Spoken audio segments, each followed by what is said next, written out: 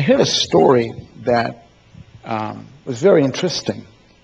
There was a story of a, a young father who was holding a little infant in his hands, three weeks, when a tornado came through Illinois, Will County, Illinois. True story.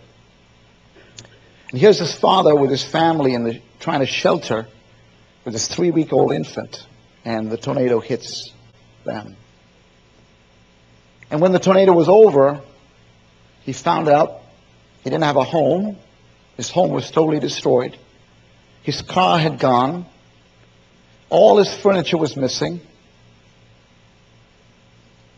And he couldn't find his baby. And then the news report said he found his baby. His baby had kind of flown into the air and landed safely, three weeks old, in a field. Safe and alive.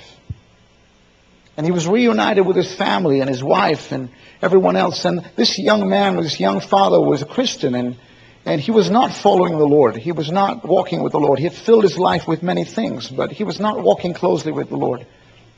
And when they interviewed him, they asked him what had happened in the, in the weeks to come. What, what did this tell you? You lost everything. How do you feel? You lost your home, your furniture. And this young man said, he said, the storm brought perspective to my life. He said, I don't care about my furniture and my home. I don't care about anything. I have my family. And I have my little child. And I, I realized that God was trying to do something to get my attention. He wanted me to close to him. And he says, I see life in a different way now.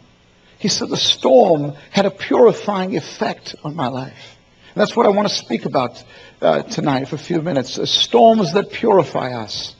And you know, you know, you know, many times in our lives, and we may not be going through a storm right now. Maybe there is a financial storm, or maybe you're struggling. But we may not go through storms every day. But sooner or later, every person goes through storms. And the one thing about storms is sometimes we can see them coming. We can say, oh, I'm expecting something to happen. And sometimes they just come in the night seasons. But storms, if you're a man or woman of God, you and I are going to walk through storms. Every Christian is going to walk through storms. Every church is going to have to walk through storms. But the good news about it, I love this, God has his way in the storm. In Psalm 148, verse 3, it says, stormy winds fulfill his purpose. Praise the Lord. And I think when we go to heaven one day, we don't like storms. When we don't like when things are changing around us. But when we go to heaven one day, we're gonna we're gonna understand that storms were actually our friends because they drew us closer to the Lord. And I don't understand everything about it, but I do know that every time I've gone through a, a stormy trial in my life, I grew more than when everything was good. Because the storm had a way to bring me closer to the Lord, break me. James chapter 1 verse 2 says, Count it all joy when you go through various trials, many-sided trials. For the trial of your faith is precious like gold to the Lord. It produces patience, endurance, character.